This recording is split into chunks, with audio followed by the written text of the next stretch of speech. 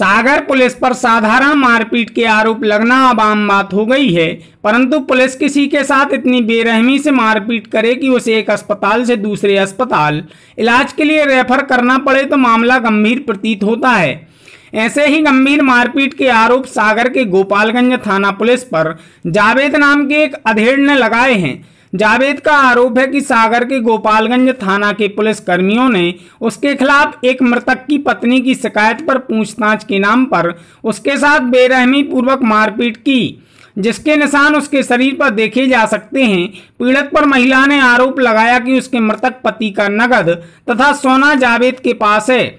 इसका उसने एक शिकायती आवेदन पुलिस को दिया है। इसी शिकायती आवेदन की जाँच हेतु पुलिस जावेद को थाने लेकर गई थी।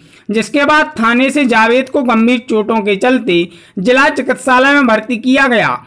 परंतु अधेड़ की स्थिति देखते हुए उसे बुंदेलखंड मेडिकल कॉलेज रेफर किया गया। इस मामले में पीड़ित जावेद तथा उसके परिजनों ने मामले की शिकायत पुलिस के वरिष्ठ अधिकारियों सहित मुख्यमंत्री हेल्पलाइन में की है।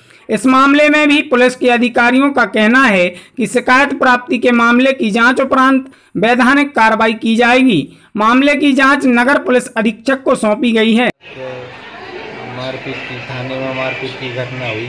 हमारे लिए एक झूठी शिकायत में फंसाया गया।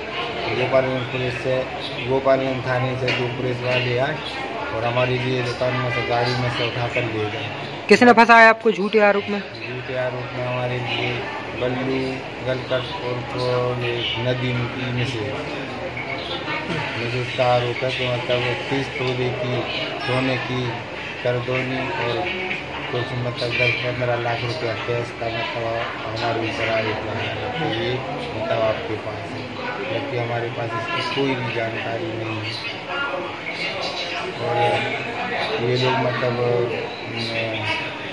लखन डावर जो गोपालगंज थाने के मतलब जो भी मतलब इंचार्ज हो, वो मतलब उन्होंने मतलब वो उनके दो तीन साथियों ने बहुत मारपीट भी ले जाता और मैडम ने भी मतलब ज़बरदस्ती मतलब ये बोली कि तुम्हारे लिए तो मतलब कबूल नहीं पड़ेगा और ये तो तुम्हें माल देना ही पड़ेगा। ये मतलब घटना हुई और क्या इस मामले में आपके परिजनों ने कोई शिकायत की है? इस मामले में हमारे परिवार वालों ने डीजीपी साहब एस पी साहब और प्रधानमंत्री हेल्पलाइन जी शुक्रिया।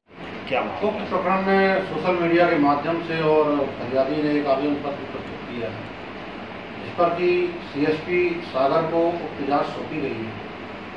सीएसपी सागर उसमें विधिवत जाँच करके अपना प्रतिवेदन देंगे।